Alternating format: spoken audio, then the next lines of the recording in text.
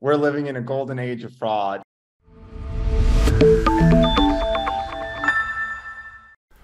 Welcome to Wealthion. I'm Wealthion founder Adam Taggart. A system is only as good as the people running it. And too often these days, we're finding out that folks in charge are not nearly as competent or as ethical as we've been told to believe. Take the scandal at FTX as just one recent example. Who watches the watchmen? That's an important question that's been raised since Roman times. Who will monitor those in power and help us hold them to account? Well, one new voice doing just that is today's guest expert, Edwin Dorsey, who tracks corporate misconduct and outright fraud over at his Substack, The Bear Cave. And sadly, the number of bad actors these days is so large that he's a very busy man. Edwin, thanks so much for joining us today. Adam, thanks so much for having me. I'm excited to be here. Thanks. Well, it's a real pleasure. Um, I want to give credit to Doomberg, uh, who reached out after my last interview with him and uh, asked me if, if I knew of you and your work and said I definitely needed to get you on the program. Glad we could make it happen so quickly. absolutely. Doomberg is very awesome, and I loved your podcast with him. Ah, oh, you're very kind. He's a great, fantastic guest. Um, of course, we're going to set the bar higher here today. Um, all right. Well, let me um, let me just start with a high level um, question. I like to start all these interviews at a very high level. Answer it any way you like. But what's your current assessment of the state of integrity in corporate America and the financial markets? Adam, one of my favorite people, Jim Chanos, has this saying that we're living in a golden age of fraud. And I kind of agree with him. There's a lack of integrity at a lot of companies. And, you know, so some of the factors that, that are making this such a big problem, in my view, is there's just like a lot of easy flowing money. And when you're in a period where there's lots of venture checks being written for things, and investors are throwing money at, you know, anything that's growing, that kind of makes good people do bad things and bad people do worse things. Lots of easy flowing money is not a good thing for integrity. When you have lots of retail participation in the markets, I think that can lead to companies or CEOs of publicly traded companies, you know, being a little misleading, trying to uh, cheat around the edges to get their stock price up. When you have like a weak punishment dynamic with regulators where you can just do wrong over and over again and the fines are kind of minimal and usually they're at the corporate level and not the individual level, that's problematic. Uh, so we're we're living in a golden age of fraud, and you know it's very sad because it harms a lot of people, but it's great for me because it means I have a lot to write about and a lot to research and a lot to talk about. well, look, we're going to get into a bunch of sort of different ways in which um, corporate malfeasance uh, is manifesting right now. Um, I, I guess as you, from your perch as a guy who's sort of, you know, watching it all. Um, are you becoming increasingly optimistic that uh, we're identifying this and we're going to rein it in and our regulators are, are going to catch on to this stuff? Um, or perhaps it is is it the opposite? Where you feel like the, the bad actors are, are getting away with more and more as time goes on? You know, regulators are, are in some ways like financial archaeologists, especially financial regulators like the SEC, where they're very good at going in and seeing what happened after the fact and telling you who was responsible for what and sending subpoenas and analyzing the laws, but they're not great at proactively preventing bad things from happening. Um, so that's kind of one of the big problems we have. Uh, you know, one shift that I see happening with regulators that I think is a big positive for like improving the conduct of executives is we're not going to you know, no longer is it just that the company pays a fine. I think there's been a big, big push to like name and shame executives and get executives, you know, bad press and fine them personally. I think that is kind of key for improving misconduct because if you know, if if the trend is that regulators just issue small fines to corporations, every CEO is going to call their general counsel and say, "Hey, I'm thinking of doing this unethical thing. What do you think?" And they'll say, "Oh, it's a gray area. This is the potential downside of fine for the company, but this is how much we can make if we do it. But if that conversation is different and the CEO calls a general counsel and says, Hey, I'm thinking of doing this unethical thing, you know, what are the upsides and downsides? And the general counsel's like, the downside is you could personally pay a big fine and you could get in a lot of trouble and you could be named and shamed and you could get a director and officer bar for five years. I think that is much more effective, even if the fines are smaller. And, you know, seeing seeing regulators take that more nuanced approach is good. Another factor we have going in our favor is now with the internet being so open you have a lot of people like me on substack on twitter on youtube wherever trying to highlight misconduct almost forming this like quasi community of like investigators highlighting this misconduct uh, before it occurs. One example could be marc cohodes being a really early whistleblower on ftx before anyone was paying attention to it. Um that's a great point, and I'm trying to remember the name of the guy. There, there was a guy who was emailing the SEC like annually uh, about Bernie Madoff. I mean, this was largely sort of pre the the new internet generation you're yeah. talking about here.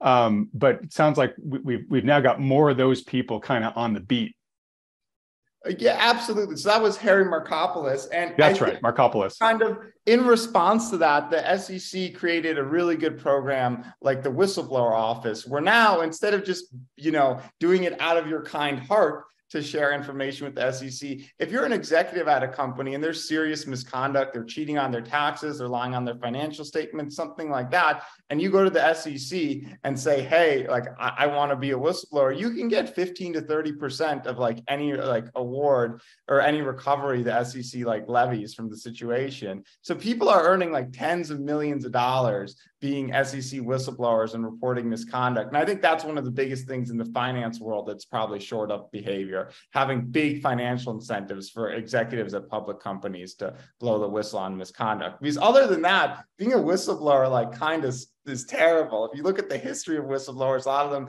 get addicted to drug. They're just buried in bureaucracy. They commit suicide. You've got all the power in the world going against you. It's very, very tough to be a whistleblower. And I think regulators over time, at least in the US, have got more sophisticated about that, accepting anonymous whistleblowers, paying whistleblowers who provide credible information, making it easier to be a whistleblower is another positive trend. But there, there's okay, still good. a lot of bad stuff in the world. So all right. And, and we're going to talk about that just a sec. Um, but it does sound like at least some good things are, are, happening.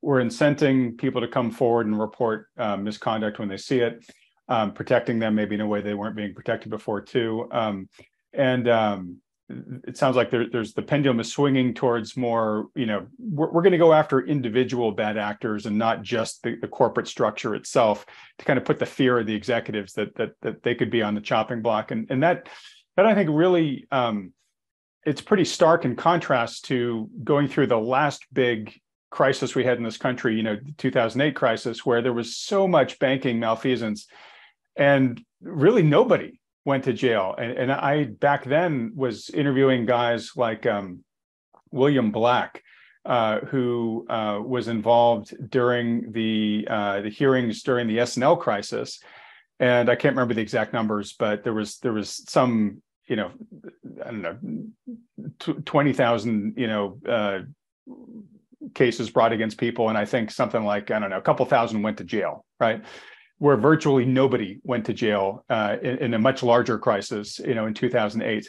So, you know, hopefully, again, you know, we're seeing at least some optimism g- going into this topic, which I'm sure is going to make people's blood boil as we get into some of the specifics of some of the stuff you're watching right now. So let's let's now move into the world of the current bad actors. Um, uh, there are uh, you know, a couple of different categories that you sort of put this malfeasance in. Uh, I know one of them is just companies that that harm customers and then maybe end up failing and then harming investors uh, and just the economy in general. So let's let's let's talk about that first category first, unless there's a framework you want to introduce before we just start going one by one. Adam, that's that's a perfect question. And you know, I spend a ton of time looking at individual publicly traded companies to try to assess their relationship with their customers. Because if you delight customers, if you make customers happy, you might not be a great investment, but you're probably not going to be a terrible investment. On the other hand, there's a lot of companies, and this is the type type of stuff I spend a lot of time looking at in the bear cave, is companies that are having good financial results. They might, be, you know, be having great customer retention their profitability is increasing, whatever, but they're just, you know, abusing their own customer base. And it might be helpful to give a few examples. Please do. Let's name some names. Yeah, absolutely. One, one of the big companies I wrote about was uh, an auto insurance company called Root Insurance that went public in October 2020. They are a car insurance company. And what they did is they say, hey, download our app. We track your location 24 7. And based on getting the data from your phone 24 7, we can determine whether or not you're a good or bad driver because we see the speeds at which you drive, the areas you drive, the times at which you drive. We, in theory, could even figure out like your braking speed just based on your phone's GPS data. And that's their kind of sales pitch. We are going to be the world's most tech savvy, smart auto insurance company. We're the, we're the big data of auto insurance. Yeah, got big it. Big data of, uh, we're going to use big data to get great auto insurance and only underwrite good drivers. And investors were eating it up. All their metrics are up and to the right. And, you know, I'm I, I, got interested because I saw one consumer complaint about them. And then I go to state regulators and send FOIA requests for consumer complaints that uh, consumers had filed with Root Insurance. And it was remarkable, just like hundreds and hundreds of pages of consumers saying, Hey, I signed up at this great price, but they in the pandemic when no one's driving i got no accidents they just keep increasing my like renewals 50% every year you know for the last five years and they make it really difficult to cancel. So roots underwriting greatness isn't actually that they're a great underwriter it's that they lure customers in with cheap auto insurance and then just abusively renew them. Even during the pandemic when no one was driving every other auto company in the pandemic was like lowering rates for customers and root just is making the rates go up, up, up, up. And in tandem with that, making it really difficult to cancel. And like to give you an example, you know, uh, I, I, you know, some of the documents I got from FOIA was a lawyer who represented Spanish speaking clients. And he wrote the Georgia Insurance Commissioner saying, Hey, I have like 10 Spanish speaking clients. They all have root insurance and they all have no idea to cancel and they keep getting gouged for their auto insurance. And, you know, it's just so frustrating seeing conduct like that you know, seeing the harm they're doing to consumers, seeing how they're abusing their customer base. And then Wall Street, on the other hand, is saying, oh, look, they're so sophisticated. They're, they're, they're, you know, their underwriting is so good because their profitability is going up. Look at these geniuses. And long story short, you know, people do end up figuring it out how to cancel. Regulators do eventually probe the company. And since its IPO in October 2020, I think the stock's down 98, 99%. Wow. And you see that a lot where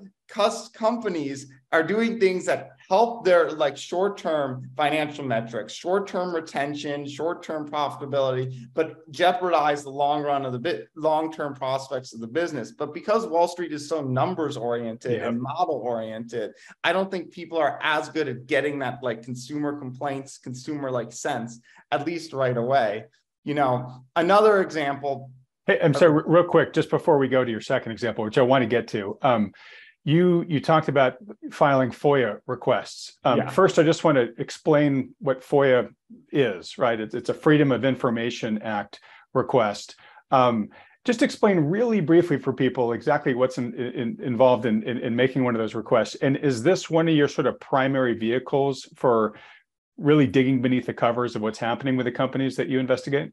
Adam, absolutely. And one of the beauties of being the US citizen is the US government has an obligation under the Freedom of Information Act to share, you know, public records with us. So any US citizen can go to the state regulator or federal regulator and demand public records. And part of public records are internal emails that aren't, you know, going to be used in like an immediate dispute. Part of the public record are consumer complaints people file with their insurance commissioner or state attorney general. And now the laws vary a little by state. So not all states will give these records to you at all or give them to you quickly or give them to you without cost. But because I've done this so much, I know which states are more responsive and which states aren't. But uh, basically, any US citizen can go to their government agency. Most agencies have a FOIA officer, and you can give them a specific request for records. And within a certain period, like 30 days or 90 days, they need to get back to you. And it's sometimes a little bit of a dance where they might charge you, they might say, we need more time to figure it out. If they don't want to give you the records, they'll usually, you know, invent an excuse not to give them to you. This type of tool is used by journalists a lot to hold the government accountable. Um, and this is absolutely one of the key things I do with my newsletter because I focus a lot on companies' relationship with their customers. So you can read online, you can get a sense of some consumer like complaints online, but that's not like a hard document. You don't know if a competitor is writing that. You don't know like what's the truth. But going to a state regulator, getting consumer complaints, you can often see a company's response. You know, that is to me the gold standard in understanding a company's relationship with its customers and if there's any abusive business practices or unfair and deceptive business practices going on. And, you know, 80% of the time, there's probably nothing there. 10% of the time, you might see more mild stuff, but every once in a while, you find really, really egregious stuff that I just know is going to have a big impact on the future value of the business. And, you know, that Wall Street just isn't picking up on, at least in that moment, if that makes sense. All right. That sounds super fascinating. Thanks for explaining that um, key tool in your sleuthing here. I interrupted you. You were about to go to another company.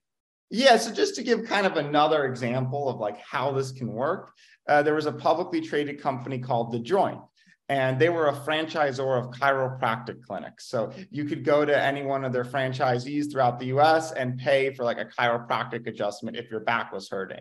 And in theory, you'd pay like $20 for an adjustment, but they were pushing this type of plan where you'd spend $80 a month to get like unlimited or five adjustments a month and like get on their just like renewal cycle. And they started to grow. They were expanding their franchise base rapidly. You know all the metrics were looking good. Wall street was taking them to like 40 times revenue. It was insane because everybody's like look they've hit an inflection point. This business is doing great. We think they have a long runway for growth. And you know, when I filed FOIA requests for consumer complaints, very similar pattern to root insurance, where people are like, I didn't even know I was signing up for this monthly plan. I'm being billed and I, I, can't cancel. The thing that the joint did that was really abusive is in order to cancel, especially in the pandemic, there wasn't a phone number you could call. There wasn't a way to cancel online. You need to drive in person to your chiropractic clinic and fill out a two page form. And people are like, I've done this and I still can't cancel. And just at a high level here, I'm saying, wait a minute, it looks like the company's like franchise based is one probably unhealthy even if the financial metrics look good. If they're doing this type of stuff this isn't sustainable. Once the pandemic subsides people will be able to cancel and people will be pissed and their brand will be tarnished you know state regulators had started investigating them they had a lot of issues they also in my view were kind of concealing some of the problems at the franchise level by having you know executives associated with the company loan money to troubling franchisees. And that was just like mildly disclosed in SEC filings. But by going to state agencies and getting more data on that, you saw like, hey, they're like loaning, you know, substantive amounts to franchisees and they're not like clearly disclosing this this could be a sign of problem so i kind of at a high level sum that up i also showed that about uh, the chairman of their audit committee had like previously served on a bunch of boards for like failed penny stocks which to me was a big red flag mm-hmm. and i mm-hmm. kind of wrote about all these problems and long story short in like the 16 months since then the stock's down 80% a lot of their franchises have begun to close or sell off and the kind of wall street story imploded and j- just to hammer this home, it's like, you know, you can do things as a business that help your financial results. Making it impossible to cancel a subscription helps your retention and helps your financial results. So every investor thinks your value is increasing, but it's actually dramatically decreasing because you're tarnishing your entire future for a short-term benefit. Right. It's a short-term gain that that creates long-term pain. Yeah. And and what didn't help in the situation is uh leading up to the pandemic, and then actually, you know, for a good while after, after you know, with all the the stimulus funds flooding into the markets as well, um, uh, you know, all boats rose. And so, really, what became the metric is who's rising the fastest, and that's yeah. where I should put my money in, right? So these guys got rewarded for things that juiced short-term results, right? When the FOMO was really going. To your point, you know, these are the companies that are going to f- fail the fastest uh, once all that support's removed because they're doing things like abusing their customers or, or, or burning their long-term goodwill for a short-term gain. Um, so, you know, uh, we had an environment that was really conducive to practices like this. Mm-hmm. Is it over for good? We don't know, but certainly a lot of what was propelling all that has been removed as we've had the Fed, you know, withdraw liquidity, start hiking rates, tightening its balance sheet. We're not seeing much more um, stimulus coming from the the fiscal side of things from Congress anymore. Um, and clearly that's manifested in the markets, right? We had the major indices down 20 to 30% last year. Um, and that's just the on average of the indices. There's a lot of individual companies like some of the ones you're listing here, you know, are down an awful lot more. Um, all right, so you talked about this first class of custom uh, companies that kind of get ahead in the short term by abusing their customer base. Um, you have another one here that's just companies that that lack any real underlying economic substance or kind of actively go out of their way to mislead investors. And by mislead, I'm sure lying is included under that umbrella as well. So, can you what can you tell us about these companies?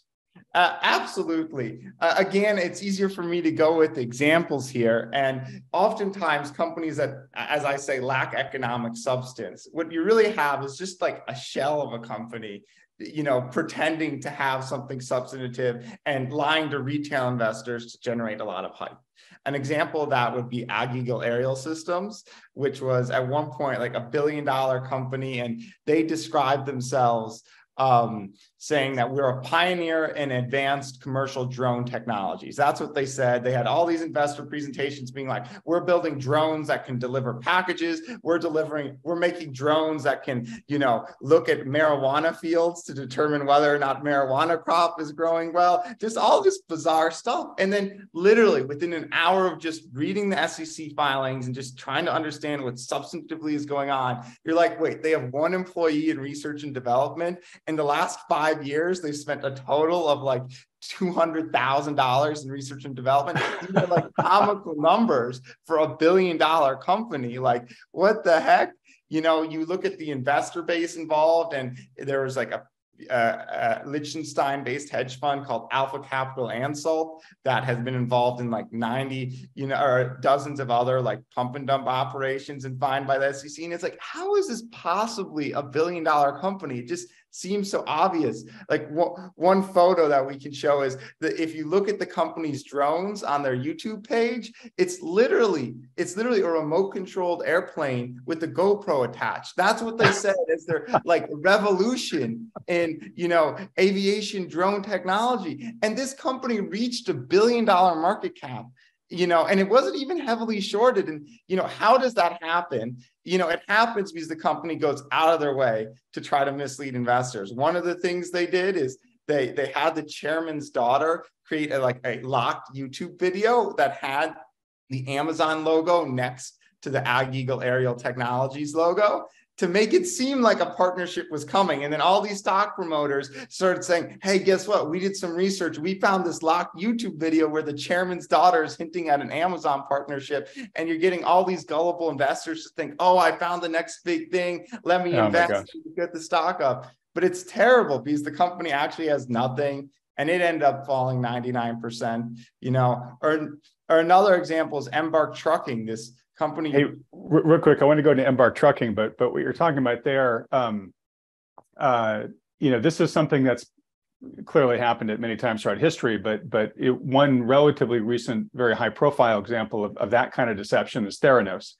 Um, and I used to live down in Palo Alto and actually know some of the the people that were impacted by that or affected by it. Um, and um, I remember in that story, um, they had uh, then Vice President Biden coming to the Theranos headquarters to tour the lab, and they basically created an entirely new, separate fake lab to walk him through.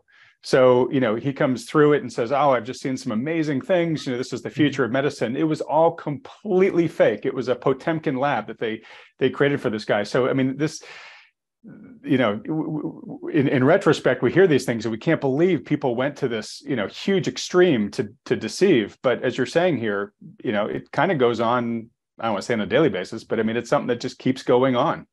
Yeah. And you know theranos is a was a private company. So I think if Theranos was a public company, it would have faced a lot more scrutiny and probably a lot of these issues would have been come to light a lot sooner, especially because there's people with financial incentives who can make money by shorting the stock and doing the research to, you know, uncover all, all the nonsense going on there. So it tends to be, at least in my view, with these private companies, whether it be an FTX or Theranos, a lot of this like crazy egregious stuff can be going on and no one's really looking into it other than maybe like a local investigative journalist because there's no financial incentive to expose it. Right. Um, and, and and the hurt is only going to be amongst generally a small number of, of private deep pocketed investors that are funding these these private startups. Um, the other thing though is is there's less incentive to do it in a private company in the sense that you can't pump the price of a private company overnight and then get out real fast mm-hmm. right? The way that you can with with this public company especially these sort of smaller penny stocks or meme stocks or whatnot correct? Yeah absolutely because like uh, you know elizabeth holmes i don't think she sold sold the share of theranos stock. So she did this all and she didn't like you know make any money from it. Um you know it's i'm not super familiar there but it's just like yeah so it sometimes is an ego thing or you get addicted to the press coverage um, I, I, think oftentimes people are doing nonsense or committing fraud, not just motivated by the money. Um, but, I, I, mean, I think that's true. But to your point about the the chairman's daughter faking people out and whatnot, I mean, I, my guess is I, did, I don't know that specific company, but I, I imagine you're kind of a shady executive. There's a big temptation to do that if you're trying to raise, you know, a new round or you're you're you've got some st- executives, you know, stock option bonuses coming up. You want to hit those targets, right?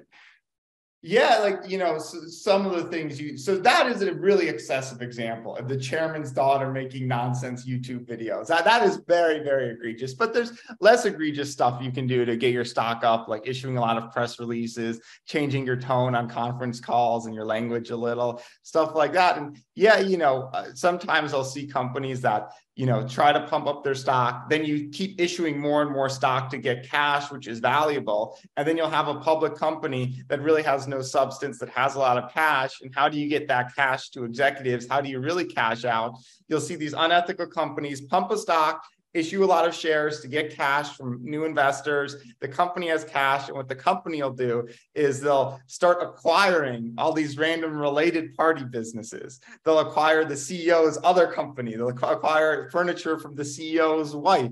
They'll acquire a board member's company for a hundred million dollars. They'll do all these shenanigans, and there's real publicly traded companies, one to five billion dollar market caps, doing these like nonsense related party transactions just to get shareholders' cash out of the business and into the hands of management and board members. And it's disgusting. It's terrible. And it happens all the time. And I guess it's kind of good it happens because it means I can write about it and people pay attention. But um, it, it's disgusting. And like that's what sometimes frustrates me with the state of corporate america and journalism is people people like to criticize. People aren't good at differentiating the egregiousness of misconduct. Because there's mm-hmm. misconduct everywhere there's bad behavior everywhere but there, there's something like deeply deeply completely wrong with using shareholders cash on frivolous acquis- acquisitions to enrich board members and your wife and whatever and essentially launder money out. That's a lot different than you know being too aggressive on a conference call and like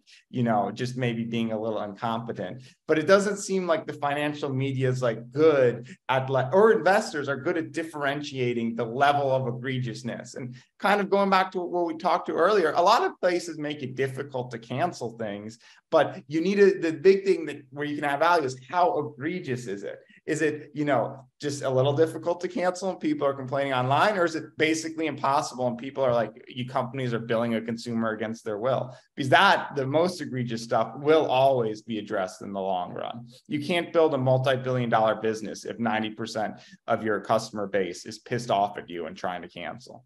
Yeah, um, that's a great point about sort of degree of abuse here. You know, we kind of lump it all into misconduct, but not all misconduct is created equal, like you're saying.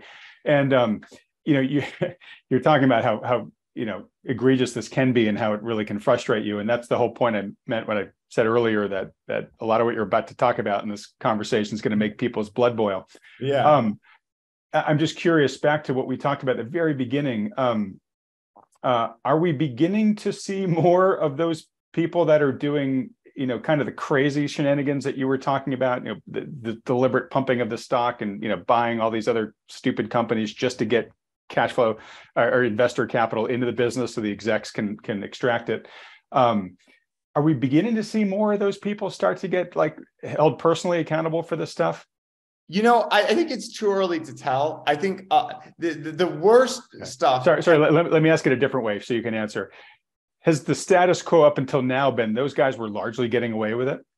Yeah, yeah, yeah. And, and SPAC deals were a big proponent of this nonsense where you'd have companies that just are just nonsense. Like, you know, there's no way it's worth $2 billion, merging at a $2 billion valuation, taking a lot of retail money, having this entire ecosystem to sucker retail investors into investing in nonsense deals, and then seeing all that evaporate. That game has completely changed where, you know, eventually people wisen up and say, hey, you're four last SPAC deals fell 80%. Maybe I don't want to invest in your fifth deal. So seeing that deflate, uh, I think has led to a lot of the like big nonsense kind of go away. Did that answer your, your question? Yeah, yeah, you did, you did. Um, okay, well, look, um, I had interrupted you when you were about to go into Embark as another example of one of these, you know, sort of highly misleading companies. So that is uh, just a little similar to Theranos, where you had a 26 year old CEO, you know, uh, of a, an autonomous trucking company. They made software for autonomous trucking. Uh, go public via SPAC at like a four billion, multi-billion dollar valuation, and you, you just read the prospectus, just read the SEC filings, and a bunch of things would pop out. They said they owned no patents, even though their competitors each own hundreds of patents. And it's like, wait a second, why do you own no patents if your competitors own hundreds of patents? And they're like, we rely on trade secrets right away. I think they're enough. So like, yeah. this might be like nonsense. And, and then you're like, well, who are these other executives? And they wouldn't really advertise it, but the 26 year old CEO all the other executives were like friends from his college class. And I'm like, well, this is a little odd. And, you know, usually if you've got a burgeoning startup, something growing really fast, new technology, you hire an adult in the room. You hire a professional who comes in to help like give it legitimacy. And they hired like a famous engineer from Tesla who left after six months. And one of the big red flags consistently over time is if you see an executive join and then leave like within a year or within 18 months, because no one ever does that. No one ever goes moves to join a new company and then quits after 18 months or less unless there's something really bad going on. And if you see that with multiple things you know you know there's like something under the hood that didn't make sense. And oftentimes what what i see is companies that have issues try to like cover it up in the public eye. So what Embark did that you know was another red flag is if you looked on Glassdoor, the CEO had like 50 five star reviews, tons of positive things on Glassdoor about the company. But if you look at the date of all the reviews, like all the reviews were posted literally the day the SPAC merger was announced. So these aren't like legitimate reviews from employees saying we love the CEO. This is the CEO's HR office saying everybody go leave a five star review on Glassdoor. We got a SPAC deal. It's just like you know, so just a small amount of initiative and like digging into this, you find these really crazy situations of companies just trying to mislead investors, getting multi billion dollar valuations from it, and then of course collapsing. And I think Embark is down over ninety nine. Percent since its SPAC merger less than two years ago. So, you know, I, it's infuriating. It hurts investors who lose a lot of money, but it keeps happening. You know, the SPAC stuff has declined, but not good. God, you've got so many topics wrapped up in there. Uh, just the SPACs themselves as a highly speculative vehicle um, may go down as one of the dumber ideas uh, of, of, this decade. Um, but the 26 year old CEO, I mean, does that really ever work out well? the, the, the, young kid is put in charge of the the multi billion you know rocket ship company. Um, just those stories just always seem to prove out more often than not. It seems that you know it was a total uh, you know cash burner uh, and and and fly by night operation. But you also talked about this was in the autonomous trucking space. Um, uh, what's the company? I can't remember the guy's name, but there was the CEO of Nikola, I think. Yeah, Trevor Milton, Nikola. Trevor Milton, yeah, with Nikola, and uh, and and I mean that company's had a lot of troubles, but but certainly uh, one of the more famous uh, things that he did that really blew back on the company was was creating a promotional video showing their truck actually in operation before the street was expecting it to be. And then it turned out basically you can't tell from the way it was shot, but they just basically put a truck on a hill in neutral and let it roll down the hill, right? Yeah. So, Adam, the example you're talking about, it, was highlighted by Hindenburg Research and this trucking company, uh, hydrogen powered trucking company, Nikola, or electric truck company, they, they wanted to show that their truck could drive when it couldn't drive. So they found this special hill in Utah that had a 3% downgrade. And they just started pushing the truck and let it roll slowly down this hill so they could shoot a promotional video that made it seem like it was moving when it wasn't actually moving like under its own propulsion. It was just rolling down a very low incline hill and you couldn't tell from the video. I'm going to use that, Adam, almost as a counter example. Okay. Here. I don't think that's as egregious as people make it out to be. Now, the media went wild because it's funny, it's hilarious. They're rolling a truck down a hill. It's like, oh my goodness, how bad that is that? I'm going to say, I don't think so that is nowhere near as bad as this AgEagle aerial or Embark trucking stuff, even though the media gave it a hundred times more press, because that happened when it was a private company. It wasn't even a public company when this was occurring. This was like, you know, private venture capital rounds. And it's like you you're just building hype among potential customer base. You're not even misleading investors with it. That's not part of an investor presentation. This is just when you're a private company, you're doing that. And you know, it's actually like a common thing eh, from the auto industry to like build models that can't move under their own like propulsion like just just to see if you can manufacture it and stuff like that my understanding from auto manufacturing is it's a little bit like making a drug where making the first few models is really difficult but like subsequent models get a lot easier as you mass right. Produce it's so like when you dig into that a little deeper and Nikola had like thousands of employees millions in research and development don't get me wrong there's a lot a lot of issues there and Nathan Hindenburg did a great job pointing it out and it was ridiculous it got to like a $10 billion plus valuation but there's a difference between that, where you're kind of, you know, as a private company building a little hype and the media is just going after you like crazy. And yeah, you're like lying a little versus having nothing. And I mean, like you're spending 40 grand in R&D, you have half an employee working on your drone and you reach a billion dollar valuation that way. The Nikola stuff, I think, can be a lot tougher to decipher as an outsider, which is why Hindenburg and a lot of these activist shorts will contact recent former employees and literally just like act like an investigative journalist and talk to people. Where the stuff I'm more focused on, at least in my view, is like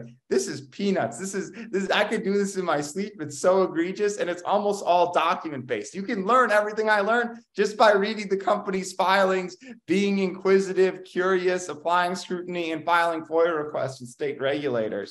So there's levels to all this stuff. And I don't, and I, I, think there's a lot of stuff that happens that's so much more egregious than Nikola that just people don't talk about. And it's frustrating.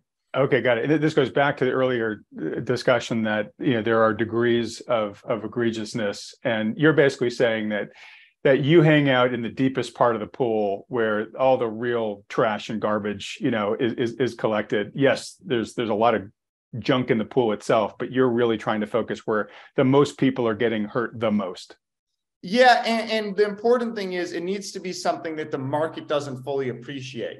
I could go, I could say, hey, here's a payday lender trading at three times earnings and half of book value. Here's all the issues with it. But the market's kind of saying, well, we understand it. We've priced it in. So you bringing this to our attention like doesn't do anything. Like everybody understands acting the scamming way. Where I can do a lot of val, add a lot of value. Where I think I do my best work is if there's a company that you know everybody seems to love that's getting a great valuation from wall street but is secretly not understood by everybody engaged in really like you know egregious misconduct in my view that that's where you can add a lot of value at least with my newsletter I got it yeah you, are breaking the news you're you, you are the the young boy finally saying the emperor has no clothes and just changing the entire perception of something overnight Precisely. Got it. This is a question I was going to ask you at the end, but I'll ask it now, and then we'll keep going through your your categories of companies. Um, but uh, you mentioned John Chanos earlier um, in one of your answers, and uh, for those that don't know, uh, Jim Chanos, sorry, Jim Chanos, um, he runs uh, and is one of the most well-known and most respected short sellers around. And um, I've got to imagine, you know, that he would think a service like yours that you offer through Bear Cave is a great opportunity for finding targets for shorting. Uh, yeah, absolutely. He, he, Jim, I've met a few times. I think he's a wonderful human. Uh, he's a subscriber to the Bear Cave, which is kind of awesome. Congratulations.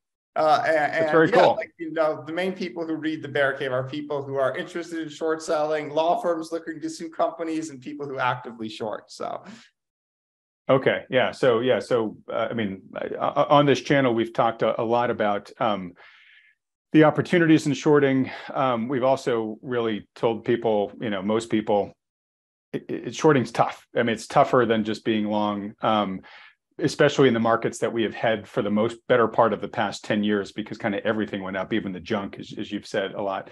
Um, so we do encourage that people generally work, uh, if they're going to short, work with a financial advisor to kind of help hold their hand and, and help them make mm-hmm. sure they're not putting too much at risk in case the trade goes against them. But there is lots of opportunity in short for the right person who's done their homework. And what's great about you, uh, Edwin, is that you're doing a lot of the homework for people, which is great. So, all right, let's get to your third category here. Um, Adam, uh, Oh yeah, sorry. Go ahead. Could I, could I, uh, piggyback on the point you just made about the difference? Absolutely. Shorting. You you mentioned Jim Chanos earlier. Jim Chanos, gold standard of a short seller, like kind of world renowned for being a great short seller. I think is fun. Chanos and Co. or Kynikos, like if you look over the very long period of time, I believe he's about broken even on his shorts. So the guy who's best in the world at short selling, or one of the best in the world, has with his short book about broken even or maybe made a one or two percent return on the shorts over time. So it, you know, if you're like if you're a genius at this, you're it's tough to make money. And the reason he's still adding value if he does this is the market on average goes up 9 10% a year over the very long run. So if you're just short the market, you're probably losing 9 or 10% a year. So if you're short and break even, you know, you, are actually doing quite well because you could get levered long and uh, you know reduce that risk. But just on his short portfolio, short only, I'm pretty sure like Chanos is more or less broken even or made like a one or two percent return over a very long period of time. So it's very tough if you're at least running a portfolio and sticking with the large caps to make money shorting over the long run. I, I, really appreciate that additional intelligence. Yeah, and you're, you're just helping reinforce the perspective here, which is there is opportunity there, but you've got to go in eyes wide open because it's not an easy place to make your money. Um, you got to be really good on the timing, right? You can have a great thesis that might even get proven right over time, but if it doesn't happen in the time in which you're exposed, it's that classic: the market can remain irrational longer than you can remain solvent argument. Precisely. All right. Um, well, look, so um, one sector you've been looking at closely, uh, obviously, because of recent events like FTX, is the crypto space. Um, so there's been a, a, big collapse in crypto banking, which maybe you could explain a little bit um, and, and, connect to how that is enmeshed with the, the regular US banking system in ways that probably a lot of people don't understand. Yeah, absolutely. So when FTX collapsed, me being me, I naturally wanted to see are there any publicly traded companies that are going to be affected by this, or what what, what are going to be the follow on effects? And right away, it was like people think the crypto ecosystem is just some offshore things with kids gambling around with play money. There's no way it affects me or my US bank or my hometown bank. And, you know, that was reinforced by Janet Yellen on November 30th, who said in a press conference, quote, the good piece of an explosion like we saw is that it hasn't spilled over to the banking sector. sector. Banking regulators have been very careful about crypto. That's what Janet Yellen said on November 30th. And it turns out that it's kind of not true, or at least my view on it is that the US banking sector or a specific sliver of small banks have a lot of exposure to cr- the crypto ecosystem that isn't immediately obvious to people. And this exposure comes in five different ways at a high level. Number one is deposits.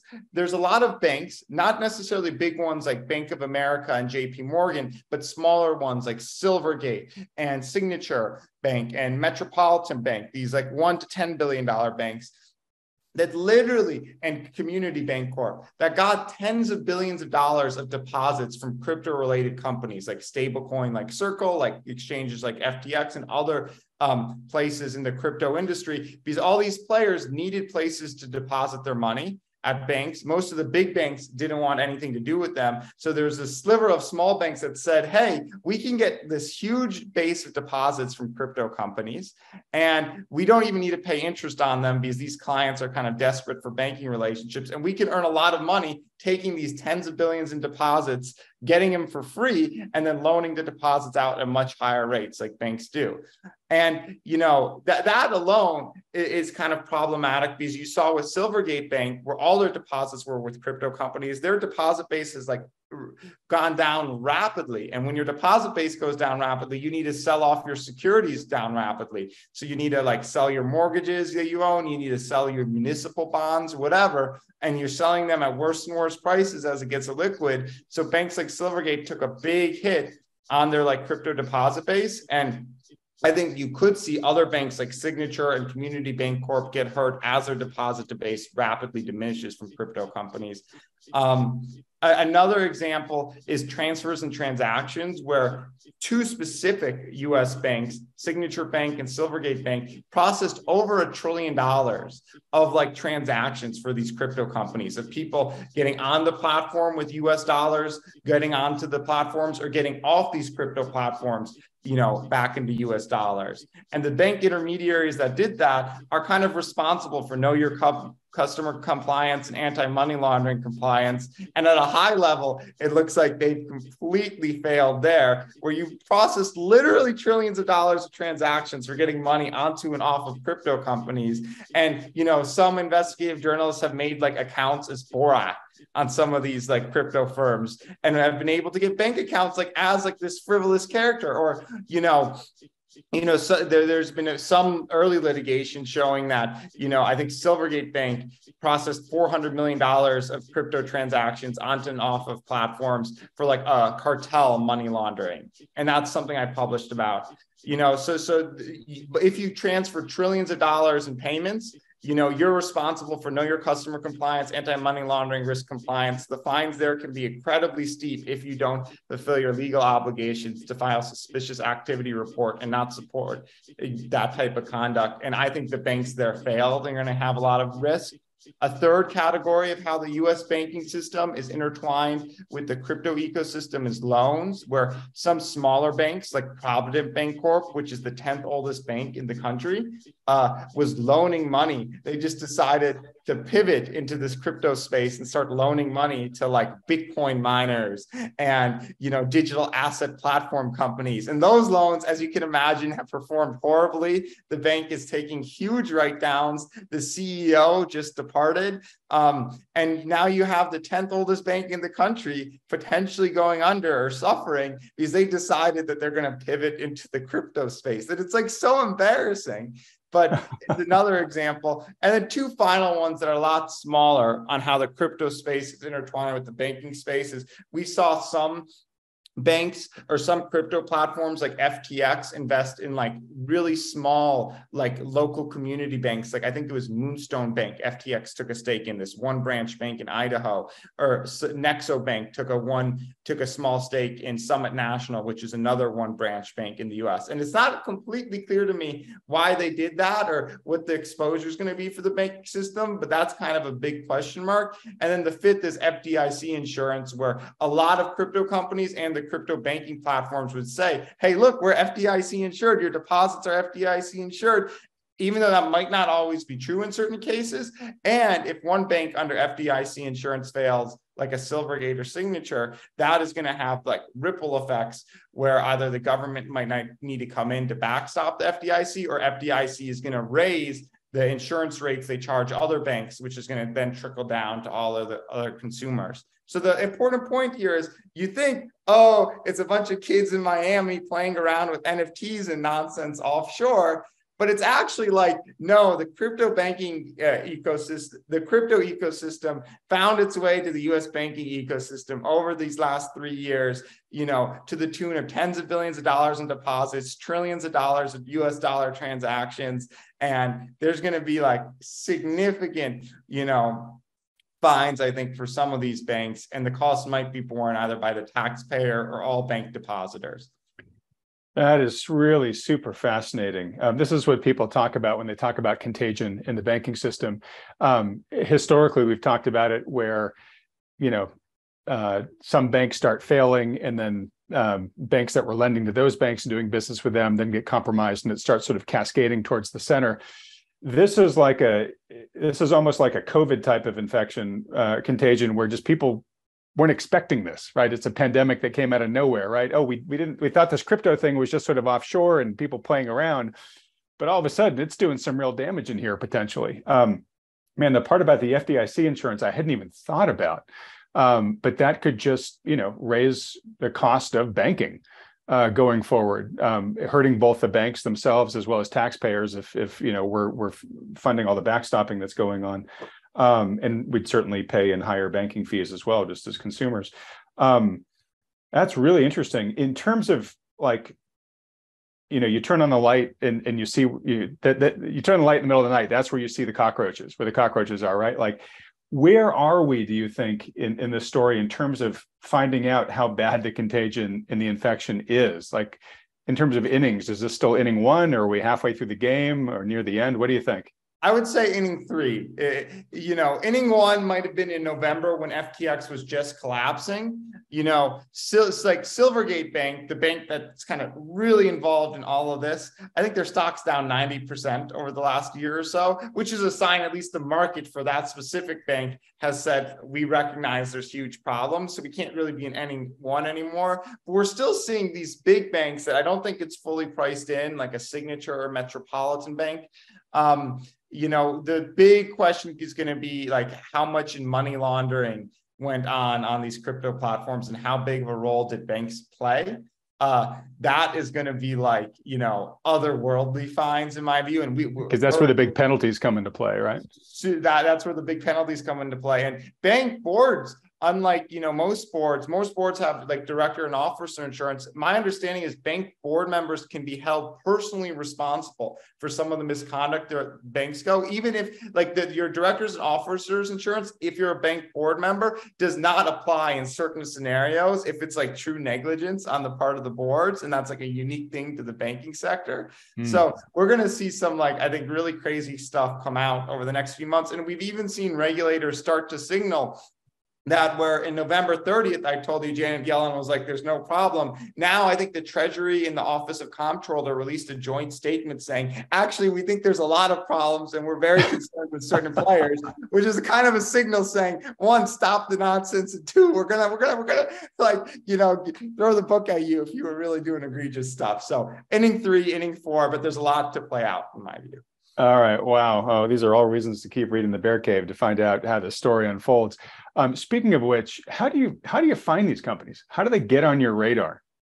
Absolutely. So uh, I'm like very simple. I, I am addicted to Twitter, Adam. I know you use Twitter a little. I'm I'm a Twitter addict. I'm on there two three hours a day. I, I, follow thousands of people. I got different lists of smart people. I'm bookmarking like 50 tweets a day. It might not be healthy, but I think it's a great way to find ideas. So oftentimes it'll literally just be a tweet of somebody complaining about a business. I follow like nonprofits that do consumer advocacy. I follow you know other short sellers. I, I Twitter is an amazing amazing tool. I'm also like, you know, I spend a lot of time on YouTube.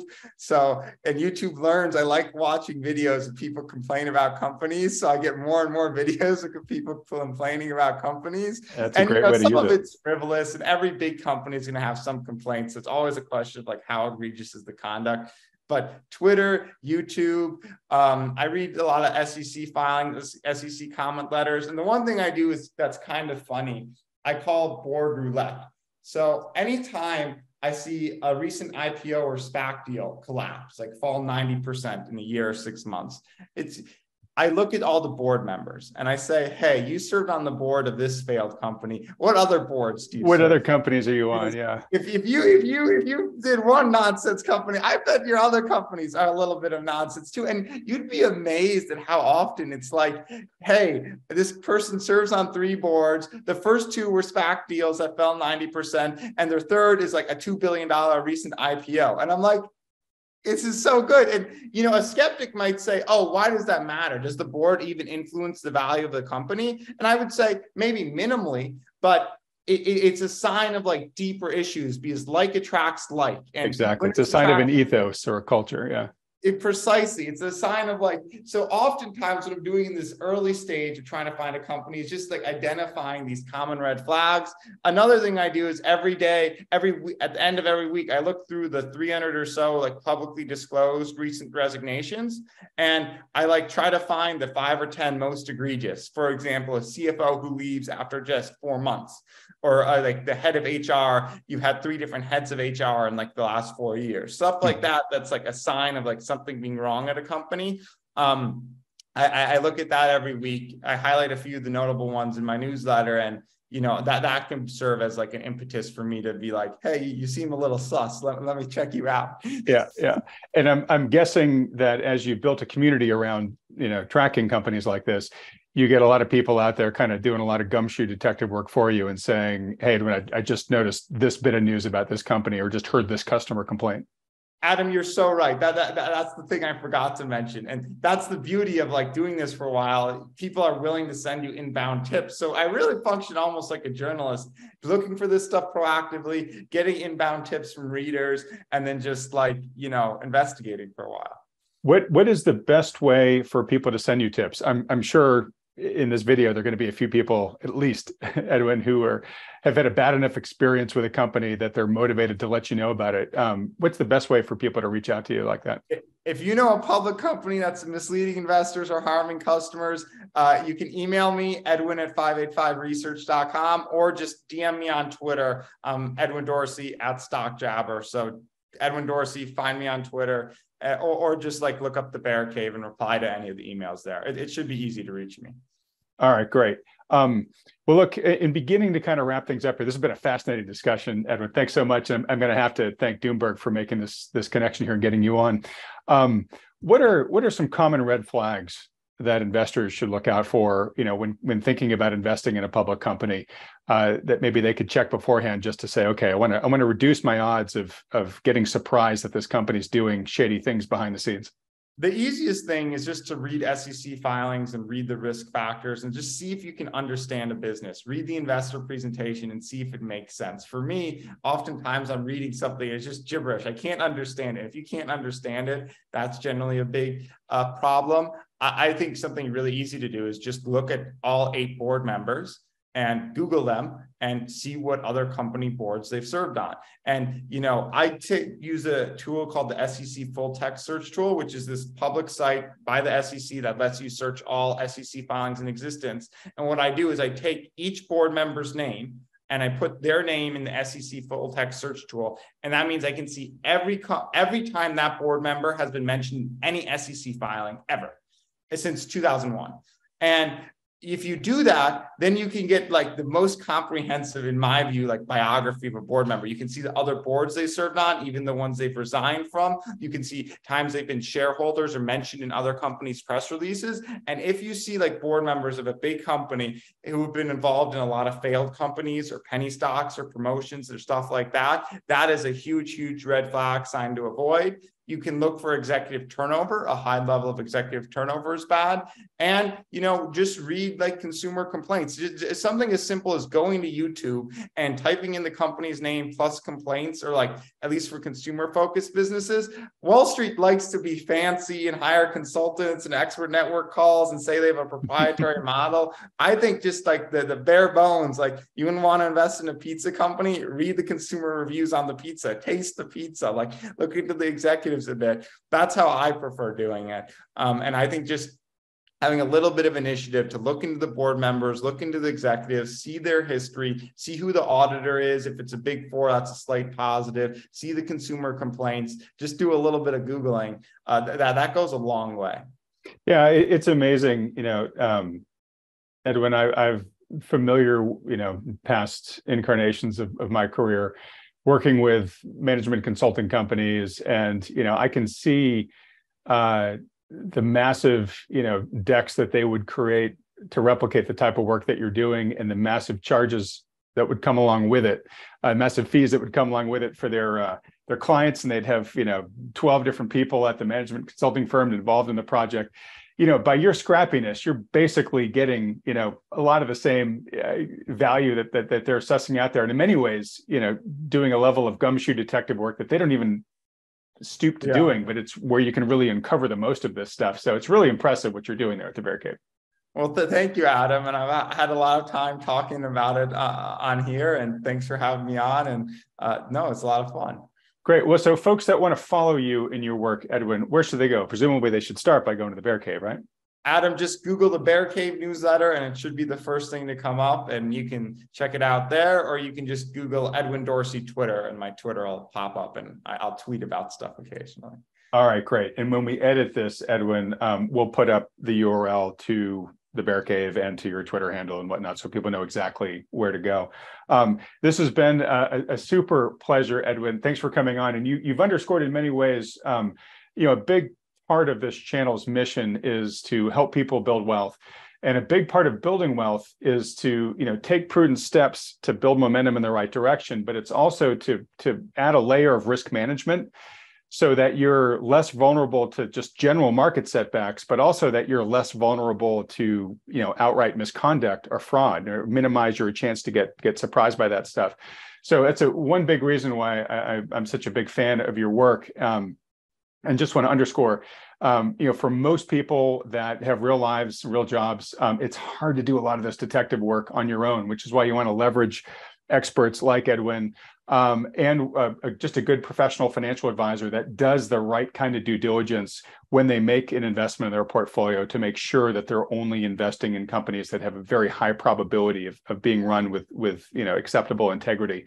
Um, and uh, look, if you if you've got a good professional financial advisor who's serving as that kind of guide for you, great, stick with them. They're extremely valuable. If you don't have one, or you'd like a second opinion of one who does, feel free to schedule a free consultation with the financial advisors that are endorsed by Wealthion. Uh, it's totally free; it doesn't cost you anything. Um, there's no commitment to work with them. It's just a free public service they offer. So to schedule one of those, if you're interested, just go to Wealthion.com, fill out the short form there, and they'll be right in touch. Um, and if you've enjoyed this conversation with Edwin, um, just a fraction as much as I have, um, and would like to see him come back on the channel in the future, please do me a favor and support this channel by hitting the like button, then clicking on the red subscribe button below, as well as that little bell icon right next to it. Edwin, it really has been a pleasure. I hope we can have you back on this channel when um, you know you've got something that, that you think is important enough to let the general audience know about in terms of any misconduct that you might be seeing in the future. Adam, absolutely. This was a blast. I think you're doing great work. Thanks for having me on. All right. Thanks so much, Edwin. Everybody else, thanks so much for watching.